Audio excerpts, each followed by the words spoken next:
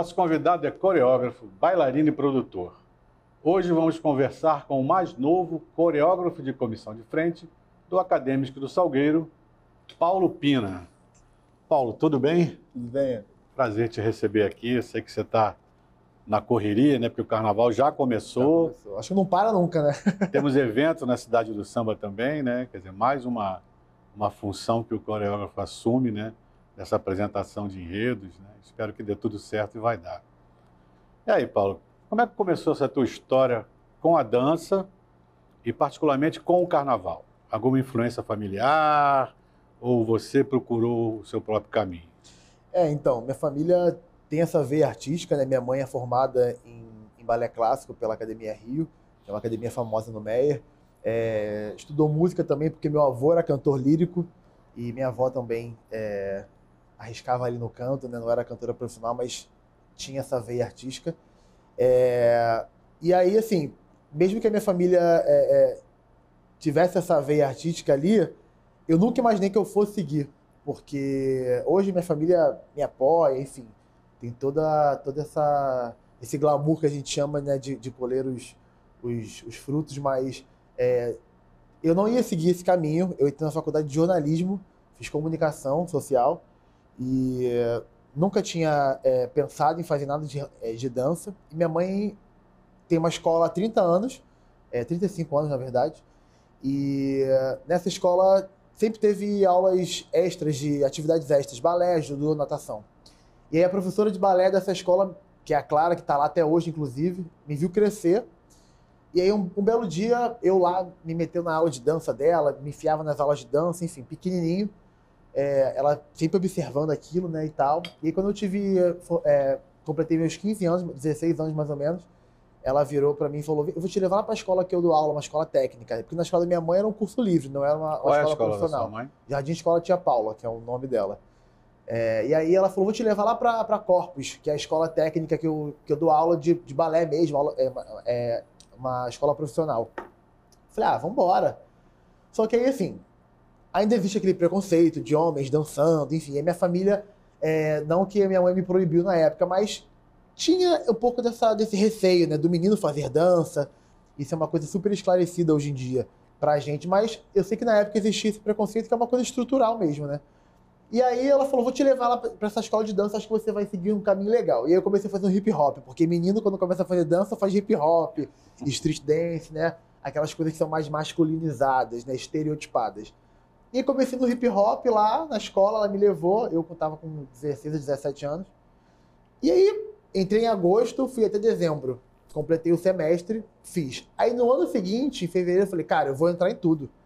Eu vou entrar no balé clássico, vou entrar no jazz, no contemporâneo, no sapateado, me enfiei em tudo, falei, vou começar a me profissionalizar. Porque eu amei aquele mundo ali.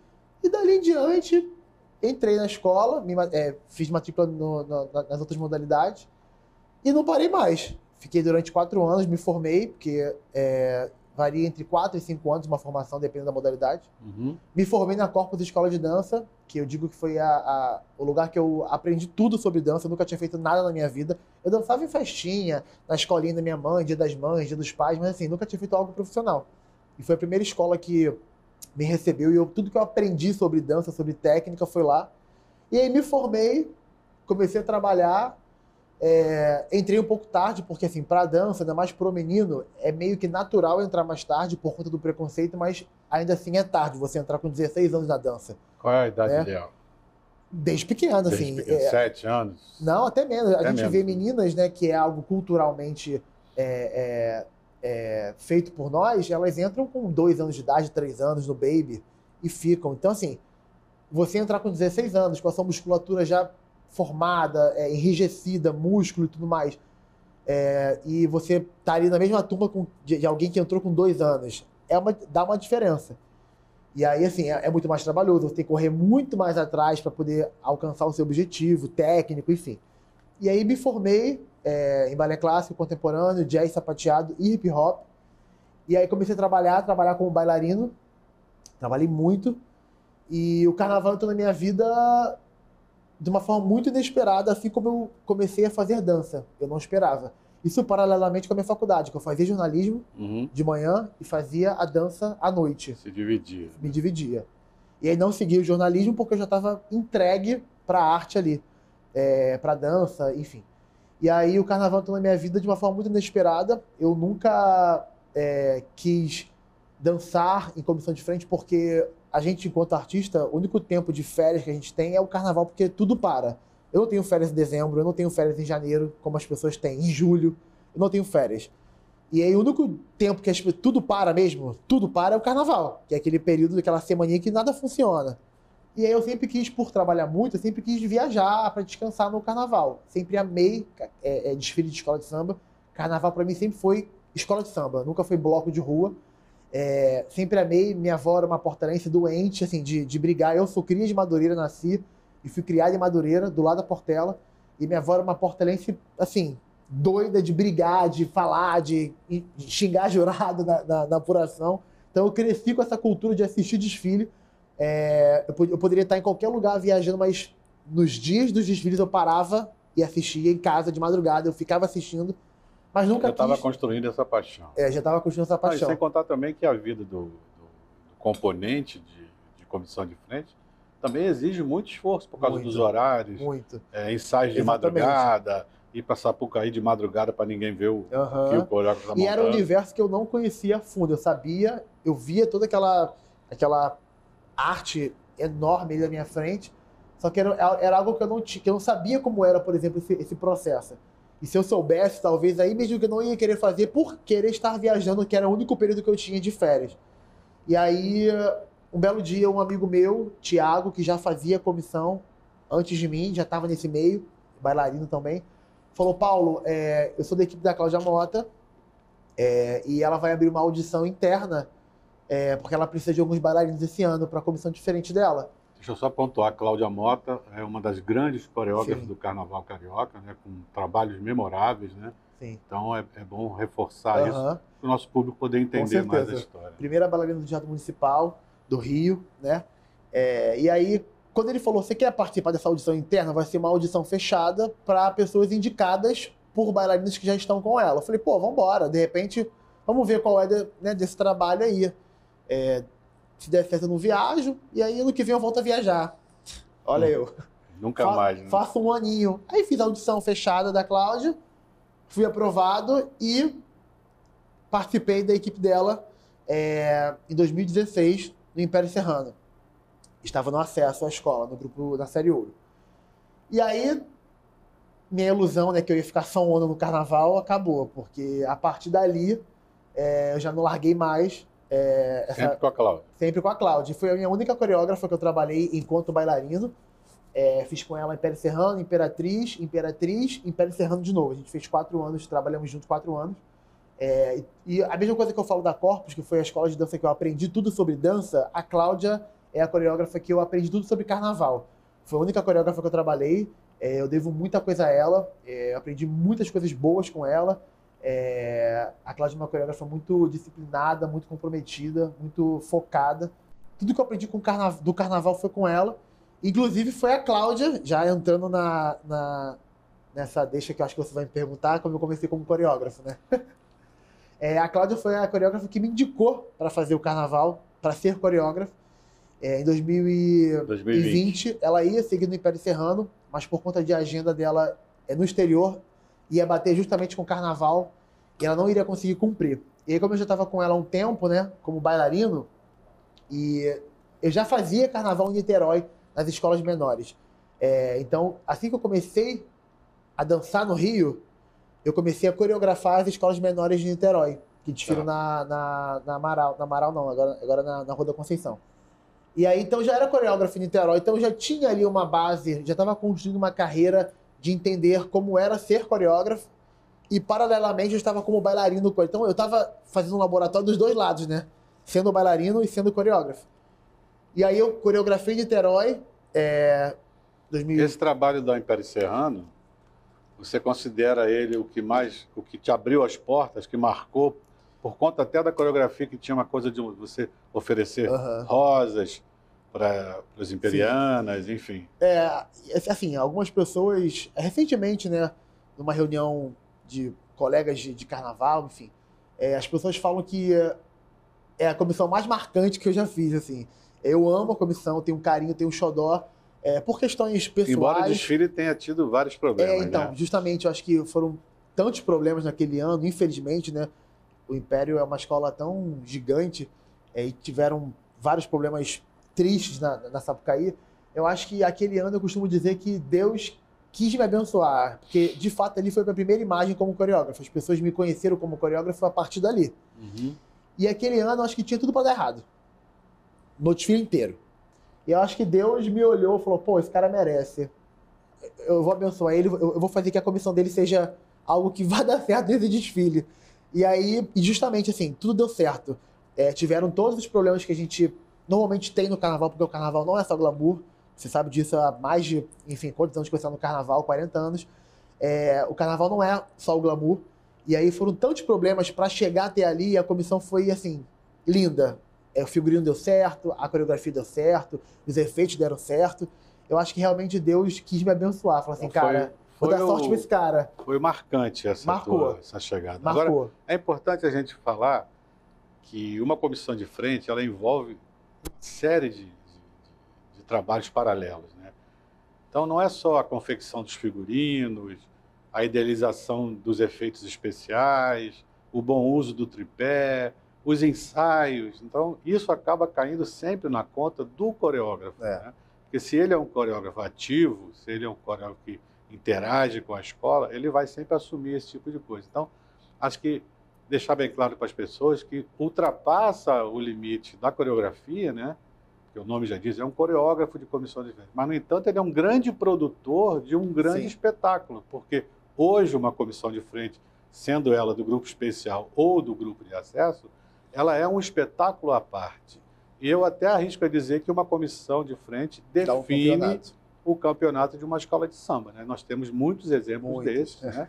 que marcaram muito. né? Então, É. é. importante isso. Se você é essa pessoa que vai ver o figurino, que corre atrás, que você não pode, porque tem o nome que está envolvido. né? É, assim, são, são muitos profissionais envolvidos numa comissão de frente, é, que trabalham para que aquela comissão de frente aconteça, muitos profissionais, é, mas de fato, no final, a assinatura é minha ali, né? É, e isso é algo que mexe um pouco comigo, acho que com todos os coreógrafos, com o nosso psicológico, porque, é, é, respondendo a sua pergunta, eu sou um coreógrafo que procuro sempre estar muito presente ali no que eu posso, né? É, às vezes até tem que dar uma recuada porque eu passo às vezes uma imagem de chato e de, sei lá, de cri-cri porque reclamou, porque tá. Mas, cara, acho que no final o resultado ele só vai ser é, com êxito se a gente tivesse esse perfeccionismo, né? É, como eu passei pelos dois lados, fui bailarino durante muitos anos, é, eu sei na prática o que dá errado, porque eu estava do outro lado. Eu sei se algo vai me incomodar, vai atrapalhar a coreografia, vai atrapalhar o movimento, porque eu fui bailarino, eu sou bailarino ainda. Não de carnaval, é porque eu acho que eu enlouqueceria se eu fosse bailarino ainda de alguma outra comissão e coreógrafo, né? Realmente não dá, mas faço trabalhos como bailarino à parte. É, então, acho que assim, eu acho que se a gente não ficar em cima, ter esse, esse, essa dedicação de olhar, óbvio que você nem consegue estar em todos os momentos, em todas as horas, mas eu sou o cara que voa, que olho, que subo no tripé, que se tiver que pegar uma rouca, eu vou grampear o tripé, porque eu sei o que vai funcionar para o meu elenco e automaticamente para o trabalho no geral. Porque assim, a visão técnica, o carnavalesco tem, o arquiteto tem, o projetista tem, é, os profissionais de pintura, parintins, tudo isso eles têm. Só que a parte artística do coreógrafo vai muito além dessa parte técnica. Então, se você não sabe, se você não fala que aquele tecido vai atrapalhar na hora de você entrar e não vai mudar, ele vai atrapalhar. É que tá tudo na sua tá cabeça, tudo amarrado. tudo e no final, se cair uma, um- uma folha, A culpa é do a coreógrafo. culpa é do coreógrafo. Paulo, vamos fazer um breve intervalo e eu volto já com esse bate-papo aqui no Quintas com Quintais com Paulo Pina, coreógrafo do Acadêmico Salgueiro.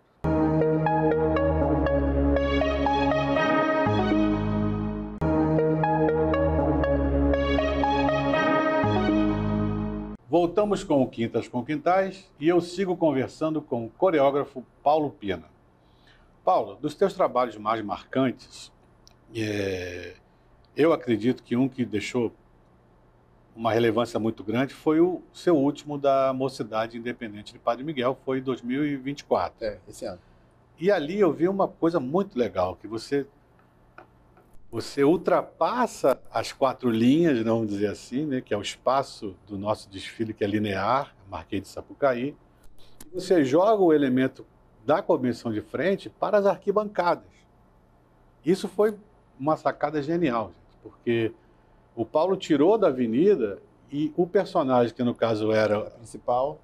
o personagem Miranda. principal, que era Carmen Miranda, né? Que era um enredo que falava sobre o caju. E aí a comissão de frente apagava e lá na arquibancada acendia uma comissão de frente, um personagem da comissão de frente. Então isso foi muito marcante, né? Essa concepção, essa tua ideia, é tua, repito, essa tua ideia veio da onde? É, então, como a gente falou no- nos bastidores aqui, né? Eu acho que, comissão de frente, eu sou um coreógrafo que gosta de trabalhar dessa forma. Eu acho que no o final, o resultado, é, por mais que eu assine, eu acho eu gosto de sempre que é, tem essa participação do carnavalesco, eu acho que é uma troca muito importante. É, costumo conversar com a direção de carnaval é, da escola, até mesmo presidente. Eu, eu não monopolizo uma ideia, né? Eu acho que as coisas evoluíram tanto que eu acho que as pessoas são tantos artistas maravilhosos que trabalham no carnaval ali naque- naquela naquele processo criativo. Eu acho que não tem por que a gente monopolizar uma ideia ou botar numa redoma e não vai entrar nada. Esse ano foi um ano que a gente conversou muito, muito, muito na mocidade. É, eu tinha o Marcos Carnavalesco, o Rodrigo Monteiro, que era o gestor criativo da comissão, a Vânia Reis, que era diretora de carnaval, Marcelão, Wilker, enfim. É, tinha uma, uma, uma direção que a gente chamava até de comissão de comissão, porque era uma comissão que estava ali empenhada em fazer o melhor. A escola não veio de um carnaval muito bom, 2023, né? E, consequentemente, a minha comissão não foi boa também, por N motivos, por vários problemas. É, e aí, assim, a gente falou: nós temos que apostar em algo muito inovador. Porque a escola não vinha de um carnaval bom e eu não vinha de um trabalho que foi bem aceito. Nem pra mim foi bem aceito, porque eu também não fiquei satisfeito. É, e aí eu falei, cara, a gente tem que fazer alguma coisa que vá quebrar essa quarta parede. E aí no início, quando surgiu a ideia, eu confesso que eu fiquei um pouco tenso. Eu falei, cara, porque se der errado, deu muito errado. É verdade. É, é, a luz era, foi marcada, foram muitos ensaios para marcação de luz com os técnicos da Liesa e os nossos técnicos de iluminação da escola. E eu falei, cara, se apaga e acende uma marcação errada tem uma pessoa vendendo alguma coisa, uma pessoa comendo uma coxinha, não é meu personagem, acabou minha comissão. Fazendo uma selfie com a E eu confesso, que eu, eu confesso que assim, no início eu fiquei bem tenso, é, dei um, um passo para trás, é, falei, cara, eu acho que não sei. E aí, esse encorajamento da escola, do carnavalesco, não, vamos, vamos botar para frente, vai ser isso, vai ser aquilo, vai ser isso, vai ser isso, vai ser isso, e apostei. E de fato foi uma grande inovação. é, e se eu não fizesse aquilo, se a gente não fizesse aquilo, né, se a escola não apoiasse e trouxesse essas ideias, é, eu acho que eu não sei se talvez, inclusive, eu estaria no Salgueiro. Porque Sim, é isso que eu ia falar. Entende? Isso abriu uma outra porta. Né? é, é, eu acho, acho que eu, eu costumo dizer que eu virei uma chave da minha carreira que vinha de trabalhos muito bons. Infelizmente, é, tive um- um- uma queda. é, isso é uma coisa que é, é super assumida por mim, eu não tenho vergonha de falar. é, por N motivos, como eu falei, que não vem ao caso, mas se a gente não fizesse isso esse ano, eu não ia virar essa chave. E as pessoas não iam me olhar com, não iam me olhar com esses olhos de o cara, o cara sabe o que está fazendo. O cara é bom, o cara entende e ele é um profissional que merece estar nesse lugar. Mas isso é uma construção. Isso é uma né? construção, Isso é uma entendeu? construção. O carnaval tem altos e baixos. Eu não vou dizer que eu vou ficar durante 20 anos no carnaval só com trabalhos maravilhosos. Porque eu acho que nenhum coreógrafo tem uma, uma carreira consecutiva com trabalhos sempre muito bons. Tivemos São- muitos exemplos. São altos e baixos. E tudo bem. Só que eu acho que foi uma questão de honra. Eu acho que se a gente não fizesse isso, é, eu acho que não ia virar essa chave. E até o, até o dia da Sapucaí, no dia do desfile, quando aconteceu tudo, deu tudo certo, eu ali vendo, não tinha caído a ficha que tinha sido muito legal. Eu acho que depois que eu fui ver a proporção, porque ainda assim ali eu tava tão nervoso que pra mim aconteceu, mas não foi. Eu escutava a Sapucaí vinha abaixo, aquela gritaria e tudo, mas sabe quando você não entende? Depois que eu falei, caramba, a É gente a tensão conseguiu. do momento, né? Fica a atenção, a atenção É, e a exatamente. tensão. E uma curiosidade rapidinho que eu acho legal de eu falar isso, no processo do carnaval na mocidade, lá na sala do diretor de carnaval, da direção de carnaval, né, tem um quadro que é o jornal, a capa do jornal com Aladim, de 2017, que foi é, algo muito incrível, né, que o Saulo e o Jorge fizeram, enfim, é, muitos aplausos. E aí tem um quadro enorme com a, a capa do jornal, não sei qual era o jornal, enfim. que era, que era o Aladim sobrevoando a Sapucaí. E eu brincava com, com, com a galera do Barcão, direção de carnaval, carnaval, e falei, ó, eu prometo que eu vou colocar do lado desse quadro uma foto da Carmen na, no jornal, na capa. Eu brincava assim, né? Eu falei, a gente vai marcar mais um ano, a, a mocidade vai ser mais um ano pioneiro. Vamos colocar do ladinho mais um marco da história da mocidade aqui, do ladinho do Saulo do Jorge. E a gente saiu no jornal no dia seguinte. Tá. E eu tô devendo esse quadro, eu não levei esse quadro lá para eles ainda. Eu vou colocar Mas do é lado falo, lá. É, essa coisa do arriscar, né? Que o Carnaval do Rio tem e o Carnaval de São Paulo não tem, né? Você é. sabe muito bem disso, que São Sim. Paulo é muito hermético. Né? Regulamento e é isso. É, ninguém arrisca porque ninguém quer errar, né? Então, às vezes, a comissão de frente de São Paulo nem interage com o enredo. O cara faz uma comissão de frente totalmente aleatória e passa, é, é, é julgada como aquela comissão de frente. Não existe uma integração da comissão de frente com, com o próprio desfile, né? E o Rio não, o Rio tem essa característica de, do arriscar, Sim. né? Principalmente, a gente está falando de comissão de frente, evidente. Então, vários momentos, é, você vê que a pessoa arrisca, foi o seu caso, e obtém sucesso, né? Agora, eu, em falar em risco, eu, eu, me lembrou um carnaval que eu fiz na, em Serrano, que era sobre as águas de Caxambu, que a minha comissão de frente, eu queria uma coisa que passasse leveza. E aí eu conheci um profissional que fazia vestidos de balão, balão de festa, aquelas tripinhas. Uhum. Eu falei, cara, vou fazer a comissão de frente toda de balões de festa. E fiz a comissão de frente com uma coisa super frágil, que eram os balões de festa. E aquela preocupação, tinha que guardar num ambiente refrigerado. O profissional já estava com a mão já inchada de, de trançar aquelas roupas, né? E, e, foi um grande sucesso, né? Porque a comissão funcionou muito bem, a gente conseguiu passar essa leveza. Você postou foto esses dias, inclusive, mais ou menos, assim, ó, tem um mês. Você postou uma foto da, da, sim, sim. da saia. E nós vamos é. mostrar daqui a pouco essa, essas fotos também. Então foi um, um, risco que valeu a pena. E ninguém acreditava, vai estourar, vai estourar. vão furar, aquilo vai, não vai funcionar, enfim. Vamos ver as fotos desse trabalho do Império Serrano, que acho que é importante pontuar a, a, a coisa da ousadia. Olha só, é. o coreógrafo era o Caio Nunes, e nós confeccionamos essas roupas todas em balão, tá vendo? Balão de Incrível. festa, tudo isso. E tinha, demorou uma semana para construir tudo isso e tinha que ser guardado num ambiente refrigerado para que o balão não esvaziasse. Aí conseguimos uma fábrica de, de, de, de tecidos, né, de ternos, conseguimos uma sala refrigerada e o efeito eu mesmo me pergunto, quando, toda vez que eu vejo essa foto, eu falo, não estourou, gente? Não é possível. É, não estourou. E, e, tinha um outro efeito que não deu para fazer, porque o tripé, por incompetência da escola, botaram empurradores externos no, no, no tripé, era para ser escondido dentro, que seriam balões que a gente ia içar cada roupa dessa e soltar e as roupas iam embora no final da lá na praça da, da, na apoteose, né? Foi legal essa coisa Incrível. da ousadia, né? E vamos falar mais uma coisa com relação à ousadia. O teu trabalho na Porto da Pedra, que a invenção da Amazônia, que foi o carnaval campeão, né? Por sinal, um excelente carnavalesco. e a Porto da Pedra ascende ao grupo especial com um trabalho bem limpo, bonito, dentro das das condições da escola, né? Um enredo maravilhoso do Diego Araújo e meu também. E a gente tem uma comissão de frente belíssima, né? Onde a natureza chora, né? A natureza chora. E tinha essa coisa do olho, né? Do mistério da, das florestas que se projetavam fora do tripé. Vamos falar um pouco da construção e da dificuldade desse olho, de como foi que a gente construiu isso. É, foi, foi assim, foi tenso mesmo, porque é, a gente tinha uma ideia central ali, né, que caminhava né, né, no que a gente conseguiu fazer. E eu lembro que é, a primeira coisa que eu falei para você foi, Mauro, eu não quero colocar índio, índio tradicional. Eu sei que o enredo a gente não vai conseguir fugir, né, mas vamos tentar fazer alguma coisa de um índio diferente, dar uma delirada, alguma coisa, enfim. E aí foi quando a gente começou a construir, de trazer o espírito do animal pro índio, e aí a gente é, foi construindo o figurino. E eu lembro que você me mandou um vídeo de referência desses olhos, que era um vídeo que, assim, se você olha a comissão, você fala, nossa, mas tu tirou dali, era uma roupa preta, um, um, olho meio doido com mais mãos. Eu falei, gente, que efeito maneiro. Eu falei, Mauro, isso é muito maneiro, vou me encaixar de alguma forma. É. foi, eu falei, não, a gente tem que usar isso em algum lugar. Eu vou pensar, vamos tentar encaixar isso, óbvio, com uma outra roupagem, no nosso, na, na, na, nossa, na nossa comissão. Aí foi quando a gente falou, foi quando, foi quando a gente pensou, vamos tentar fazer os olhos da mata, os olhos da floresta. E eu falei, como vamos fazer isso? Aí vai Mauro caçar. vai Mauro caçar uma ideia, porque eu falei, não, tem, não sei, como é que vai colocar um globo na cabeça dos bailarinos? Como é que eles vão respirar? Porque o legal é ter o um movimento. Aí tu foi caçar. Aí como vão enxergar, né? Como vão enxergar, olha lá. Esse é o processo de construção. E aí né? já o pirando. Se foi o primeiro protótipo, você pode ver que o olho em si, né?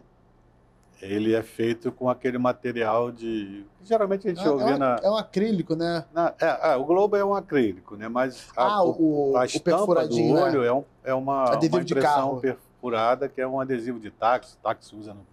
É. Isso foi a grande solução, que e você eu já conseguia pirando, enxergar, né? E eu falei, Mauro, não é possível, não... Aí, calma. E eu perturbando o Mauro, aí ele achou o globo e aí mandou cortar e colocamos na cabeça. Só atrapalhava a acústica, né? A acústica, é, porque tu não ouvia nada. E É. me dava desespero também, mas a galera foi, olha lá, o resultado. E esse é o resultado final. e aí teve né? a preocupação também de, da pintura, porque assim, se pintasse, podia ficar com cheiro dentro e não ia aguentar.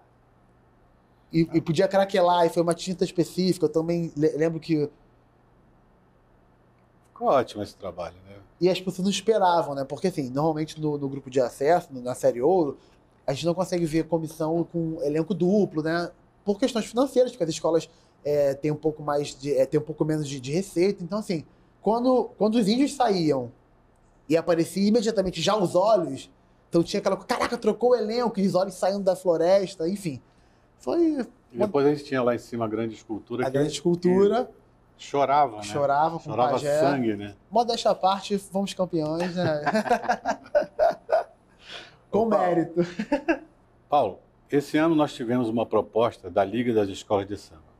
Para quem não sabe, a Liga das Escolas de Samba é a entidade que gerencia, que organiza, que constrói o Carnaval Carioca. E uma das propostas, justamente ligadas à comissão de frente, foi a retirada do elemento alegórico. O elemento alegórico é aquela peça que interage com os bailarinos. né? Então você tem a comissão de frente, você tem um- uma alegoria onde o bailarino pode entrar, sair, existem efeitos especiais. É o ponto alto das comissões de frente. Então, rolou essa proposta da Liga para o próximo carnaval, de primeiro retirar totalmente os tripés. Depois, ela migrou para diminuir, limitar o tamanho do tripé. E agora não foi votado, vai ser votado só para carnaval 26. E, na tua opinião particular, o que, que você acha dessa, dessa proposta de retirada ou não, ou limitação do tamanho do tripé de comissão de frente? É, esse foi um assunto muito polêmico, né? É, entre nós coreógrafos e escola, presidente, enfim, toda a direção. Eu, acho, eu achei assim uma grande furada, né? É, se isso fosse para frente, por quê? Como você mesmo falou, eu acho que o ponto alto hoje das comissões acontecem no tripé, que é no carro, na, na, na alegoria. Eu acho que uma das coisas que eu falei foi que é, o nosso carnaval ele é, tá ainda mais grandioso. É de fato um verdadeiro espetáculo. Hoje a pessoa que vai assistir na Sapucaí, ela presencia um grande espetáculo do início ao fim. Iluminação, as escolas estão mais preparadas, enfim. E eu acho que a comissão de frente é o momento que as pessoas mais esperam. E também teve uma, uma, uma pauta de era, que era para valorizar a dança. E eu falei, olha, a É. minha dança, ela é boa, forte, com ou sem tripé. Eu acho que a minha proposta de, de coreografia, de comissão de frente, é valorizar sempre a dança, tendo carro ou não. Então, assim, pra mim isso não, não, não me diz nada, porque a minha dança ela é valorizada com ou sem carro. E aí, assim, eu, eu fui contra, eu, Paulo, coreógrafo, fui contra a retirada, porque eu acho que isso limita o coreógrafo, isso é, é, te impossibilita de criar coisas novas Empobrece o espetáculo. em- empobrece o espetáculo que cada ano se torna ainda mais rico. E aí eu fui contra, e aí eu dei uma ideia de limitar, falei, então tá, então a gente pode limitar. Foi uma proposta que eu apresentei, né? É, de limitar um tamanho e cada um faz naquele tamanho. Só que assim, é algo que não é proibido. Desculpa, não é obrigatório. Uhum. Não é obrigatório no regulamento. Então, assim, o coreógrafo que não quer, não quer levar o tripé, não leva o tripé. Ah, ninguém quer arriscar, né? Então, assim, é, tá entendendo? É algo que não é obrigatório. Não tá no regulamento que você é obrigatório a levar carro. Então, leva quem quer. E aí deixa a gente levar o carro. Enfim, eu acho que a tendência nos últimos anos, a maioria dos coreógrafos entenderam a, a necessidade de diminuir o tamanho do tripé. Nos últimos anos, a gente tem a grande maioria dos tripés menores, se você for olhar nos últimos dois, três anos, os carros estão menores, estão mais é, é, palco, platô, baixo, não, não são aqueles carros mais enormes. É, infelizmente, os meus dois últimos carros no grupo especial foram altos e grandes, não por opção própria. Infelizmente, eu não consegui é, diminuí-lo, mas era algo que eu queria já fazer menor.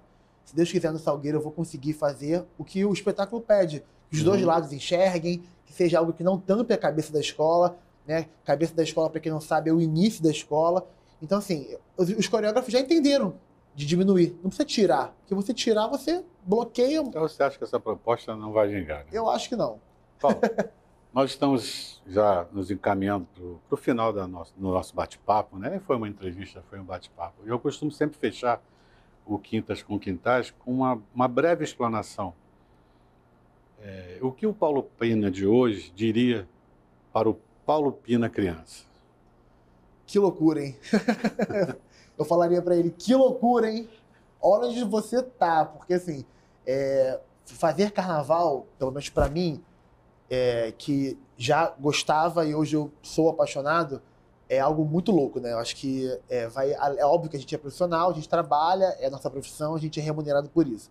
Mas eu acho que vai um pouco além disso, né? Eu acho que a gente é tão, pelo menos eu sou tão apaixonado por, por essa arte, que eu acho que transcende essa coisa do de eu ser o profissional. Eu sou tão louco por essa arte que é, às vezes é difícil acreditar porque era algo que eu não previa, eu não tinha essa pretensão, até mesmo quando eu, quando eu era bailarino, eu não tinha essa ambição, é, nossa, quero me tornar coreógrafo agora ou daqui a pouco. Eu vivia o momento, eu vivia ali como bailarino, eu não tinha essa pretensão mesmo. E quando eu me tornei coreógrafo, é, e hoje é, estou coreógrafo, é, é, algo muito louco, porque eu não esperava e, de fato, o carnaval mudou minha vida. Ele mudou minha vida, ele muda minha vida, tanto profissional quanto pessoal. É, o carnaval ele me dá disciplina, ele me dá paciência, que é algo que, que eu busco a cada dia respirar. Eu acho que o carnaval ele me torna um ser humano cada dia melhor por viver com pessoas que amam aquilo que fazem e a arte transforma, né, Mauro? Eu acho que a gente nunca vai ser o mesmo depois de